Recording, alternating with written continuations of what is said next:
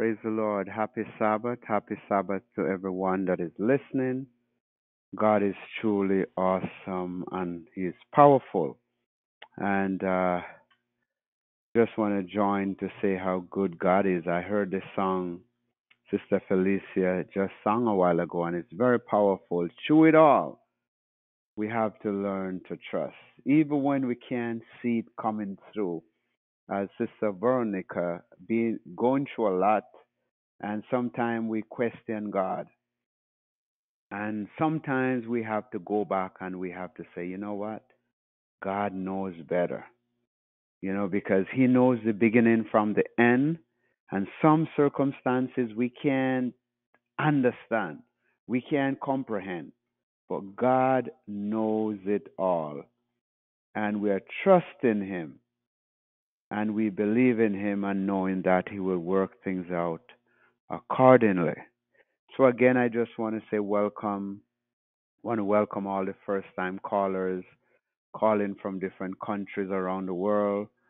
We want to just say happy Sabbath also for all the Ajax people, our home church calling in, and all those who are calling in from the Ruth Church and and Philadelphia, T West.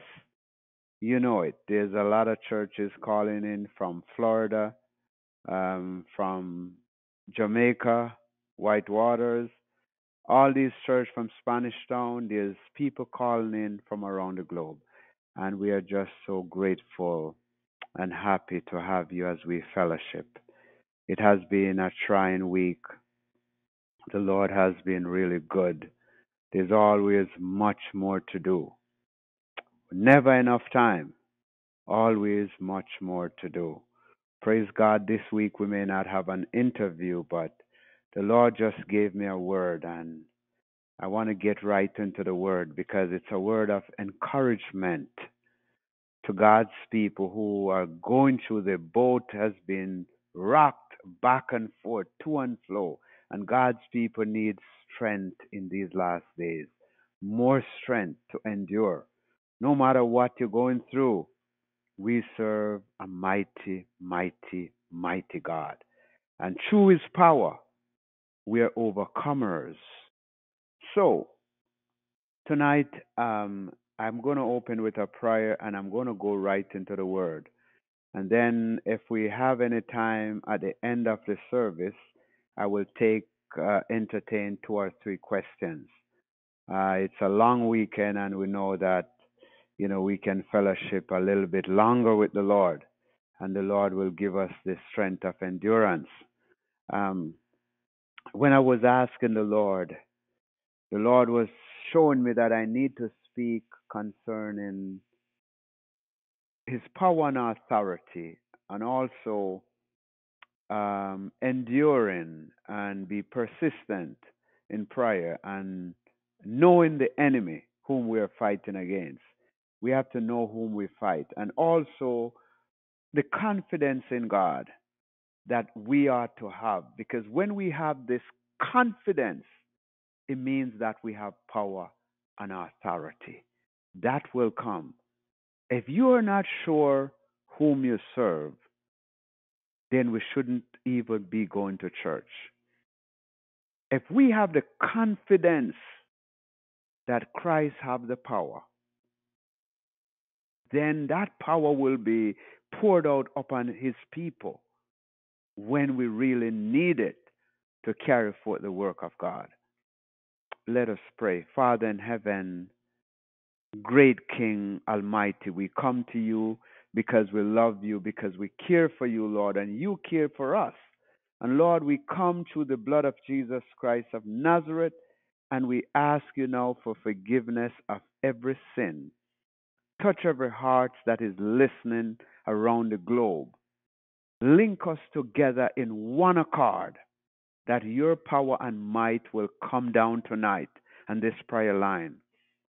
And all those who are, have called in to be delivered by hearing the word of God, it will pierce and souls will be set free tonight because of your power, your authority, and your love. We thank you, praise you, exalt you.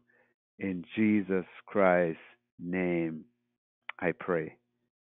I'm going to First Kings chapter 19, and I'll be reading from verses 1 to 4. And then get your pens and pencils out because I'll be going through a lot of scriptures real fast. So you have to write them down tonight. It's powerful. So we all know the story of Elijah and what Elijah did on Mount Carmel. That he killed many false prophets by calling on fire from heaven. It's one of the most powerful uh, power we have seen display in this Old Testament by a prophet, the prophet Elijah. He called fire down, and you know the story. You can go back and read First Kings chapter 18 and read about it. The showdown on Mount, Mount Carmel. And after this showdown, and after uh, the rain situation where he prayed and rain came, Elijah was on a high. He had seen the power of God defeated all the, the false prophets. He had seen drought. He had seen rain. He had seen many things. And now a moment came when he had to be consistent and endure. And in this moment, when he needs to endure, there was a crisis. Go with me to verse 1, and it says, And Ahab told Jezebel all that Elijah had done, and withal how he had slain all the prophet with the sword. Then Jezebel sent a messenger unto Elijah, saying, So let the gods do to me and more also, if I made make not thy life as the life of one of them by tomorrow about this time. There was a powerful threat by the powerful woman Jezebel. Just our name alone denounce, denounce evil, rebel, wickedness. You heard about the Jezebel spirit. You see, a lot of people have the Jezebel spirit that the enemy has departed upon God's people, and we don't understand the power behind the Jezebel spirit. This woman decided, I'm going to take matters in my own hand. Before she repented and say, you know what? If that happened, that powerful miracle, I want to give my life to Jesus. Instead, she sent a threatening message that by tomorrow, this time, you'd be dead. And it says in verse 3 And when he saw that, he arose and went for his life and came to Beersheba, which belonged to Judah, and left his servant there. But he himself went a day's journey into the wilderness and came and sat down under a juniper tree. And he requested for himself that he might die, and said, It is enough now, O Lord. Take away my life, for I am not better than my father. Lord of mercy. The man of God running away. Tonight, God wants to talk to us about the power of endurance, the power of keeping on when God's people need to be persistent and keep pressing. A day when we're going to be challenged. Imagine a man of God, Elijah, seeing powerful operation happening, and now he's running away from a woman, Jezebel. Where is God? How can we relate it to ourselves? Is there something you are running away from? Is it fear? What is it? Are you running away from the home? Is it the job? Is it God's work? God is calling you over and over, and you kept running away and is bidding you to come and surrender. I want to tell you that when I, I take a full observation of the power of Elijah, and he was running, and God is saying, many of his people are running tonight from him because of fear. Well, God has given me something to encourage us tonight not to run. You feel like giving up. You felt like you had enough. I can't take this Christian walk any longer. I think I had enough. You're on the edge of throwing in everything and say enough is enough, like Elijah.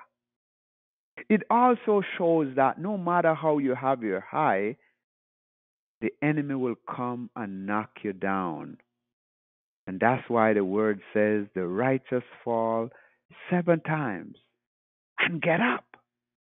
God is encouraging us tonight to get up. I want you to go with me to 2 Timothy 3. 2 Timothy 2, verse 3. God is going to show us some powerful things tonight. Write the scriptures down and go and study them.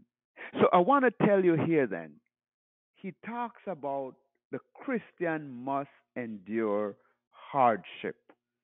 The Christian must endure some pain if we're going to make it over to the promised land. The Christian cannot run away like Elijah even though Elijah knew where he was coming from. He had a relationship with God, he experienced the power of God. I know you experience the power. Why are you running away? Why are you turning your back on the Lord? In in 2 Timothy 2 verse 2 it says, I'm going to read from verse 2. No, verse 3. Verse 3 and 4 I will read. Thou therefore endure hardness as a good soldier of Jesus Christ. No man that warreth entangleth himself with the affairs of this life, that he may please him who has chosen him to be a soldier. Lord of mercy. The Lord has chosen some people, Sister Veronica. He has chosen you and many others on the prayer line to be a soldier. And if He has chosen us to be a soldier, He's saying one of the criteria, something we ought to do, is to endure hardship. He's saying hardship is going to come and the Christian, and he's encouraging us to endure it. Stay put and turn it over to the Lord. That's what he's saying. And he said, Don't be like Elijah. Seeing the power of God work today, but tomorrow run from a woman. A feeble woman who named Jezebel, who is wicked. When you know whom you serve, the powerful I am, who is the I am. It doesn't matter if it was Ahab, if it was a man or a woman, but they are feeble. They have no power to go up against the God whom we serve. And God is encouraging us tonight is to en- endure the hardship you're going through because it's for a purpose. Endure because the Lord has chosen you, Sister Rochester. And if you are a soldier, it means you're going to go through something, Sister Celeste, and He's going to take you through it as the soldier of the Lord. We are in the Lord's army. We're going to be knocked down, but we're not staying down. We're going to get up. The second thing the Lord shows me is that we have to be persistent. We can't give up. It doesn't matter how Jezebel is coming or Ahab is coming, we cannot give up.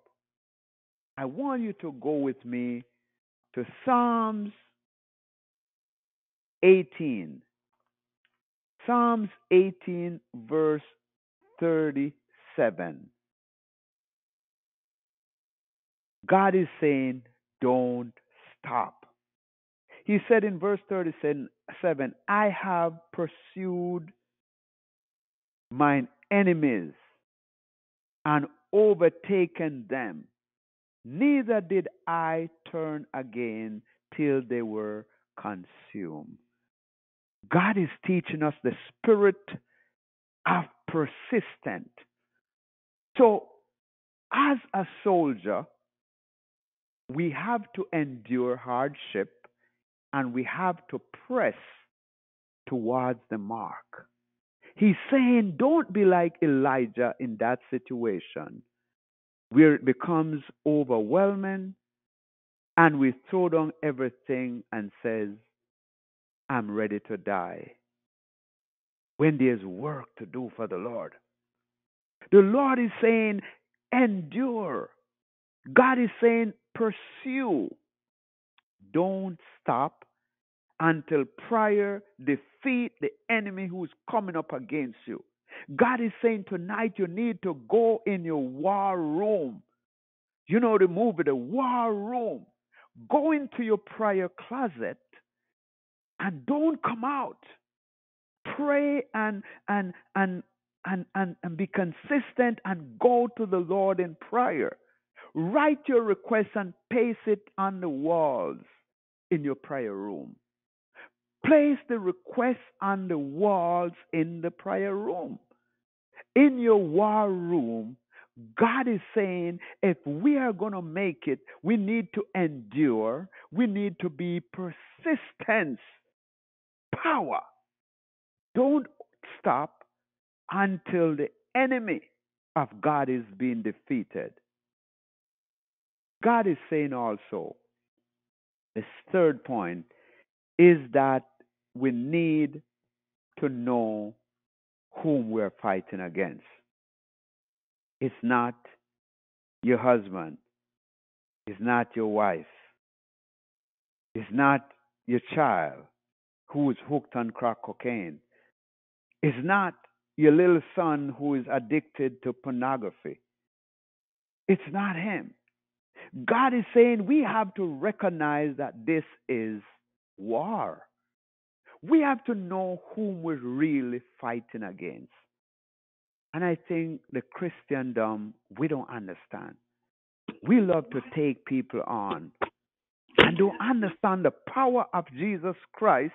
We don't understand the power that we are not wrestling with flesh and blood.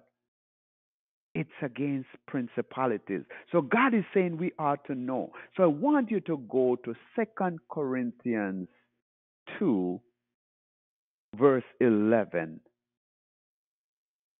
We have to know our enemy.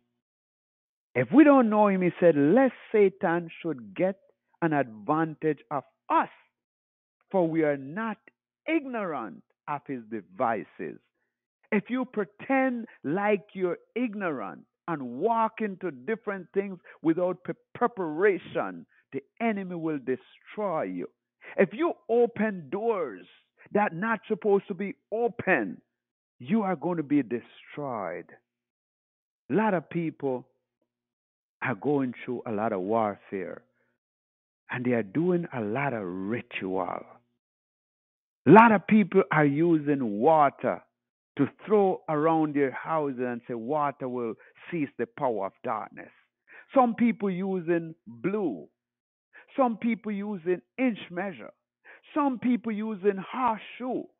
Some people using frankincense and myrrh, thinking that can stop the enemy. We are ignorant. We have no idea of his devices. We have no idea that we are digging a hole so the enemy will get an advantage of us. God is saying when we endure and be persistent, we need to know who the enemy really is. If we don't know who the enemy is, how are we going to fight? How are you going to grab and, and go deeper in prayer when you don't know who you're fighting? You see, God continues to tell us that we wrestle not against flesh and blood. But every time something happened to us, we think it's flesh and blood. And God is saying, You wrestle not against flesh and blood. You wrestle against unseen beings, principalities, powers. So if we are wrestling with unseen beings, why we try to fight? Why not go in fasting and prayer? Why not come to the mercy seat and cry out for the Lord's help? Why not? Why go and just cry and, and get ourselves in trouble? Why not go to the mercy seat and ask the Lord for help? Why not, brethren? Why not come to Jesus who is able? Why not? Why be like Elijah in that situation and running away from God? Tonight you may be going through something and you have been running. The Lord have been speaking to you and telling you and bidding you to come higher so he can use you to eliminate the situation. But what we're doing, we're running away from God. How can we run from God? How can we run after Elijah seeing all that power? Why not stand and face the enemy? We got to face the enemy. We got to endure. We got to stand firm on the word of God. We have to be persistent in prayer and claiming the word of God. We have to know the weaknesses of the enemy. One of the weaknesses of the enemy is the name of Jesus Christ of Nazareth. When we call on the name of Jesus Christ of Nazareth, there's power. You see, when you call, if you just said in Jesus' name, it carries some power, but when you say Jesus Christ of Nazareth, it's one Jesus that came from Nazareth. The devil recognized who is that right away, and he flees. God is saying his people need to come to battle and claim the power and authority that is rightfully given.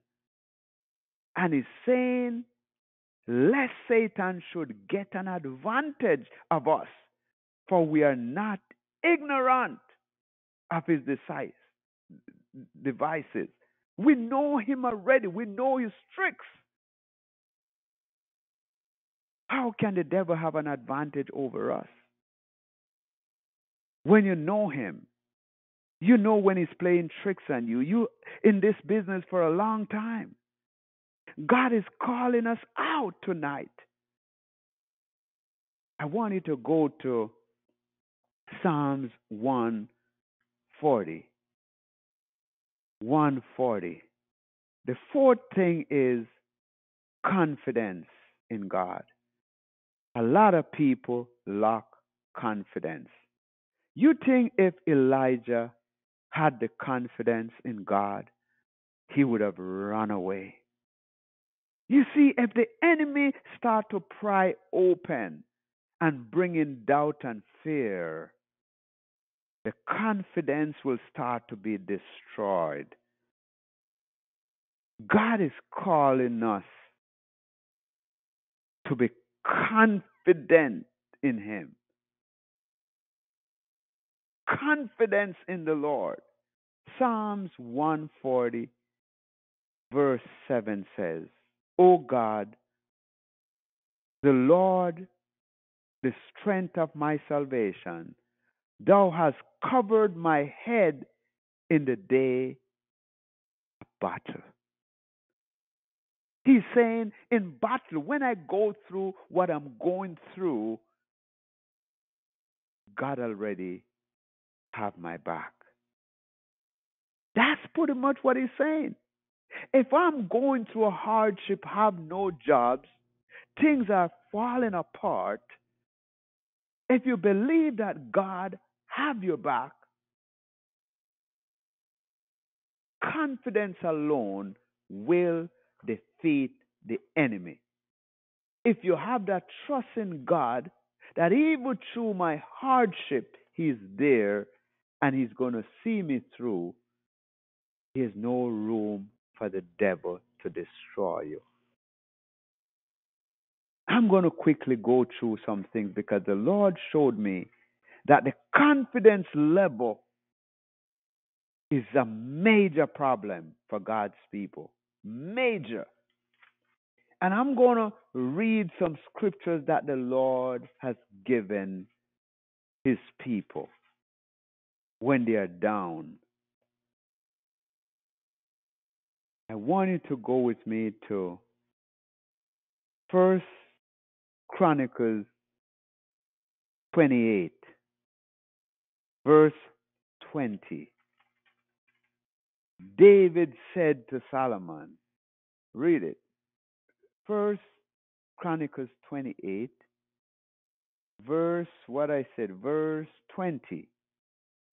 And it says, And David said unto Solomon, his son, Be strong and of good courage, and do it.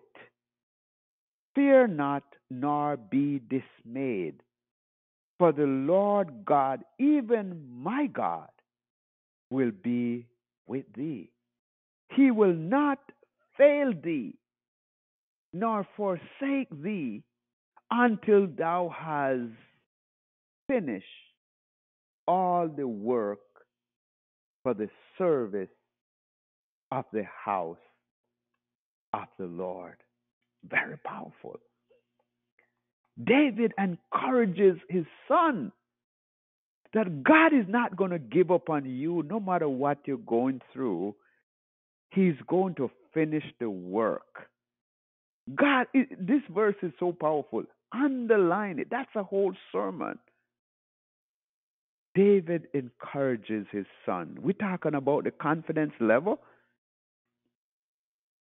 Look at the same First Corinthians 15. Look at First Corinthians 15, verse 58. So back up to First Corinthians 15, and we're going to go to verse.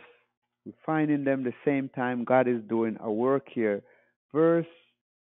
Um, I don't. I think I had the wrong one here. First Corinthians 15. And what the Lord was showing me is that let nothing move you. I know I'm going to find that scripture because it's very, very powerful. Let nothing move God's people. Let nothing move you. So, sorry, it's not Chronicles. First Corinthians. Sorry about that. First Corinthians 15. He encourages you. When he says, let nothing move you, I have to find this scripture because it's very powerful. It's an encouragement. When he says, let nothing move you, he's talking about anything that you're going through. It Doesn't matter. So First Corinthians 15, verse 58.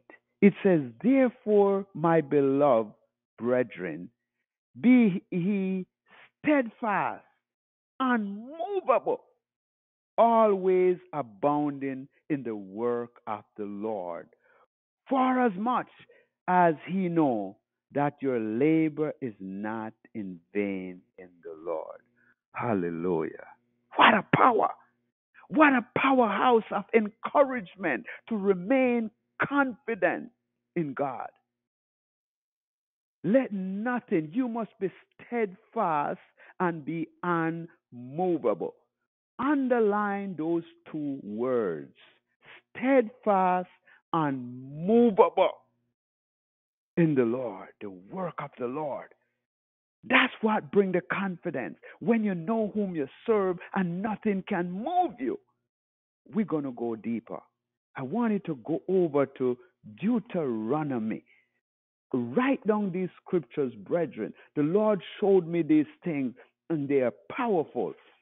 Go to Deuteronomy 31, verse 6 to 8. 31, verse 6 to 8. Let's hear what it says. As the Lord is teaching us, don't be like Elijah. It says, Be strong and of good courage. Fear not, nor be afraid of them. It doesn't matter what you're going through. For the Lord thy God, He is, He it is that doeth go with thee. Is God going with you? You have that confidence? And He will not fail thee nor forsake thee. Underline not fail thee nor forsake thee. If God is not going to fail you, why are you running away? Why are you pulling at Elijah? Why are you, the Lord is calling you over and over and you're running? Why You're saying it burden is too much, you cannot take it? Lord, take my life. He said he will not fail you. Can you have that confidence tonight that the Lord will not fail you? It's so powerful. He will not fail you, brethren. Go to Ephesians 6, verse 10.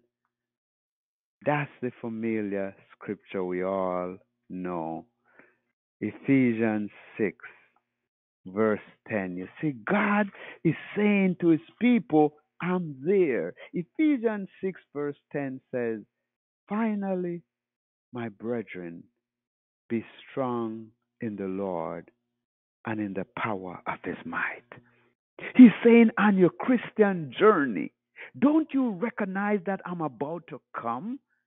Finally, brethren, he said, when you get everything together, when everything is put together, he said, finally, the grand finale, be strong in the Lord. It's not you, and in the power of his might. It's not you who's going to fight the battle.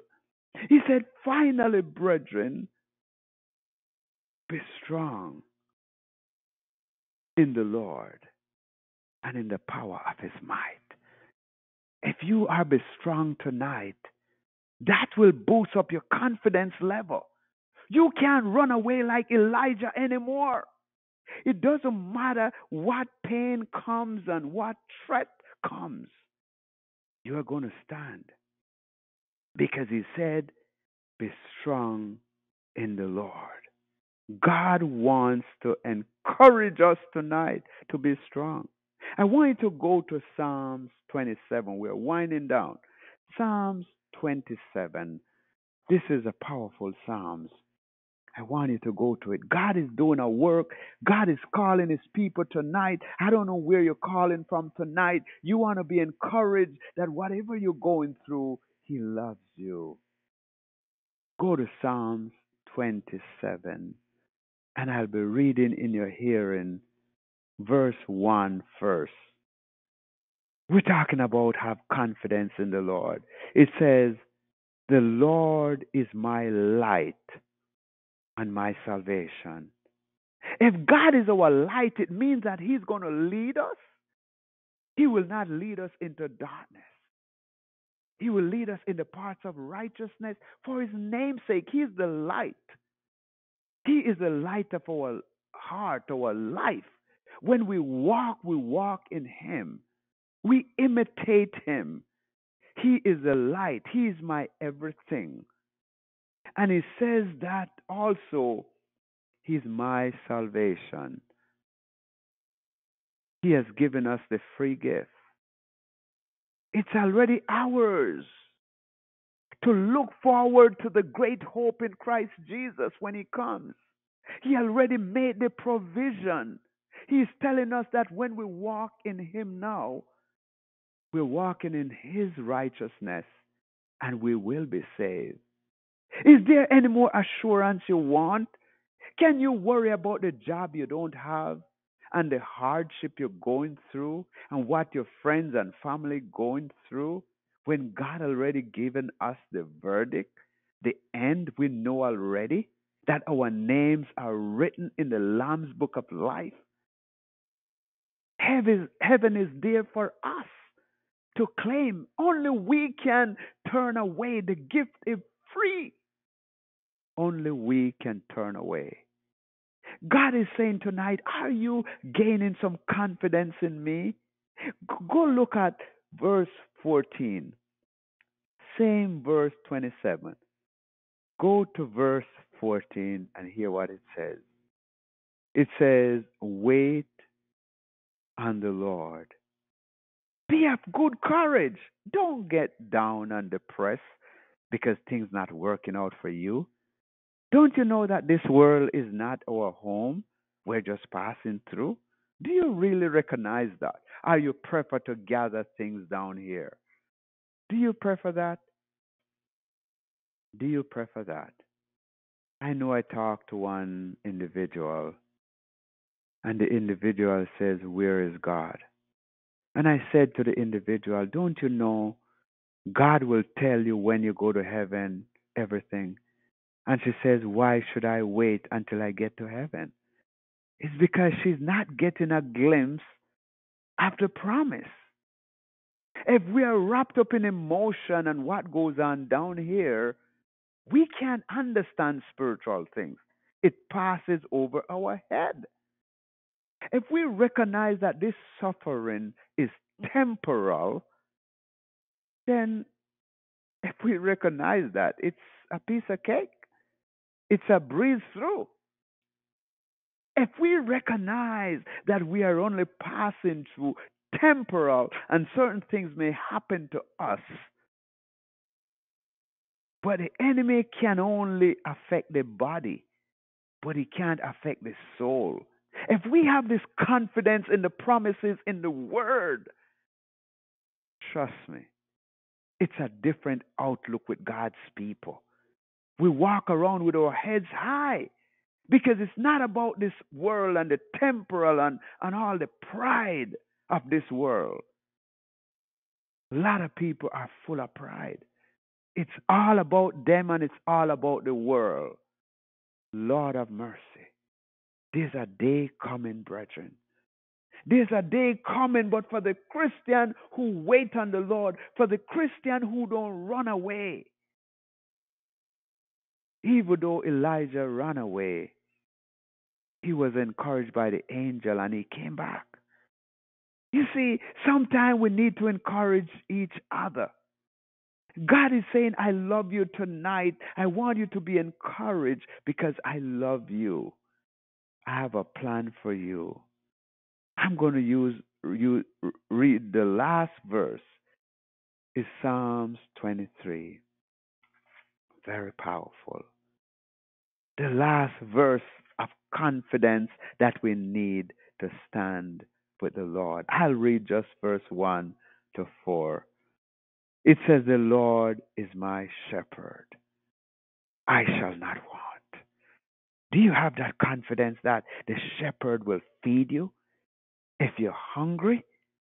But if you don't know the shepherd, if he's not your shepherd, if in the spiritual realm you can't get it, then you're going to murmur anyway. Even if you hear this message, you're going to murmur and get up complaining the same. But if you really know God, that He is your shepherd, He already told you that if one is gone from the flock, he will go and he will leave the 99 and go get the one. That's how much he loves you and I. It's deep, you see. He's telling us tonight that I am your shepherd. Therefore, I shall not want. In verse 2, it says, He maketh me to lie down in green pasture. He leadeth me beside the still water. God is saying, if I'm your shepherd, your bread and water will be sure. In the grass field that you lie down, the grass of good jobs, the grass of good work and good health, the green grass around you, I will make you comfortable and lie down in green pastures. And then he said, I will lead you beside the still water, the water of life, the water that will quench your thirst, the water that will change your life forever. Because he said, I am the living water of life. If you drink of me, you will thirst no more. That's a special water. Only God knows where that water is because it's a still water. It's fresh, but it's not moving. God is saying, I am that water. Only me can take you into that pathway tonight. If you only allow me to. This is spiritually deep, brethren. And in verse 3, he says, I am also the restoration God. He says, He restored my soul. Lord of mercy. Restoration. We need restoration tonight. Tonight, somebody need to be restored to the master. Somebody need to turn around like Elijah and get out of the wilderness and get back to Jesus. Tonight, somebody need an experience with God. If you need an experience, God is calling you tonight before it's too late and said, I want to give you an experience. I want to give you an Elijah experience. He said, I will bring restoration. You are broken tonight because of all the molestation, the maladies. You are broken tonight because of the pain you have been through. God is saying, I'm the God of restoration. You see, where the God of restoration said he will lead you, he said, I will restore it, my soul. He restored my soul. He leadeth me in the paths of righteousness for his name's sake. If we are called by his name, everywhere he take us, there's going to be restoration.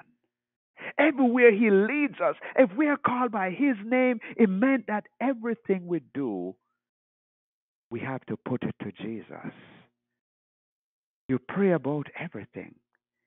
Even when you go to the supermarket, you pray about it. What you're going to buy. He promised that wherever He leads you in the paths of righteousness, it will bring restoration. Do you want to be restored tonight? God is encouraging you tonight that I'm going to restore somebody on the line. You know why? For His name's sake. If we are called by His name, we can't fail. That have to encourage you. If you are called a Christian, Christ followers, you can't be a loser. You're a winner in everything.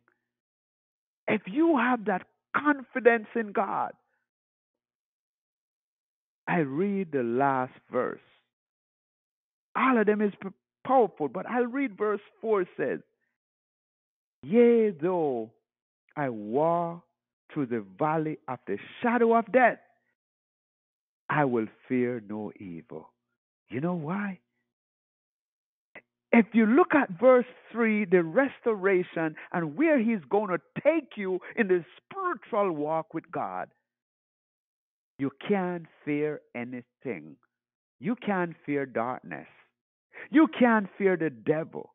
You can't fear the power of God when He called you to work because you are covered. He, you got to get it again, brethren. This is powerful. The Holy Spirit showing me this thing. Yea, though I walk through the valley of the shadow of death, I will fear no evil. Why? I know the line coming after is powerful, but God wants us to go back up to verse 3 because God is bringing restoration and is leading us because we are called Christians for his name's sake. We represent him. We're hearers. We represent. Therefore, we're called his name. We're not ordinary. When people see us, we can't be downtrodden and be down and be in depression. He comes to bring restoration. And if we are restored when we go through our darkness, we will not evil fear no evil. For thou art with me. The Lord says He's going to be with you. Thy rod and thy staff, they comfort me. His protection of the rod and the staff over you, His armor over you. According to Psalms 91, He covers us under His wing over us. We are protected. We are under the shadow of the Almighty over us. We are protected. If we are protected, how can we fear? No weapon that is formed against us shall prosper. If you go forth tonight with such boldness and confidence in Christ, the warfare thing is a piece of cake. I'm telling you. We are ready to face any battle in endurance, in persistent in prayer, knowing the enemy and facing our battles with confidence that we're overcomers, facing the Jezebel with confidence that we're overcomers. It's so powerful. You can't be the same tonight if you digest this word and allow the Holy Spirit to move through your vein tonight. You can't be the same because we're covered and the Lord promised He will lead us into the parts of righteousness for His name's sake. I pray tonight that we will catch this word because this word is powerfully fire burning through our bones that God is with us. And if we have that confidence in the word through Jesus Christ, it's not button to Christ, it's not Patrick, it's Jesus Christ. The words declare it that if we study and have the confidence in God, we can do all things through Christ who strengthens us. Therefore, we are ready for battle. We are ready to face the challenges. In closing, I share this testimony and then I'll take two questions. You know, in the warfare and the battlefield, I've seen the power of God work. And I've proved it over and over. Sometimes we pray for people and I become discouraged when they are not delivered. And then the next day, a deliverance comes so powerful that I'm saying, Lord, you truly with us. I've seen the hands of God move and work with might. And if the hands of God move with such power, how can we deny it? I've seen him move. I've seen deliverance before my eyes many times. I am determined to go all the way with Christ. I don't care what may comes. I will not run away in Jesus' name like Elijah. If I have to go to the first death, let it be. How I said, Lord, don't let me receive the second death. I want to be in heaven with you when you come. I know that is your desire tonight to be with the Lord and Savior. God is moving on your heart tonight. He can come in and give you such confidence. I'm going to pray and then I'm going to take just two questions. Father in heaven, great God, we thank you for the word, Lord. We thank you that you are with us. We thank you, O God, that you have given me what you want your people to hear because the days are evil days. Time is running out. God's people need to repent and to come to the mercy seat before it's too late. I pray, oh God, that somebody who is listening, who have been contemplating coming back to the church and be rebaptized, I pray that they will make the decision and they will find their nearest Adventist church and recommit their lives to Jesus. I thank you, Lord, for the fire and the power, and I give you glory and praise. Hallelujah. Through the blood. In Jesus Christ's name. I pray in thanksgiving. Praise God and praise God.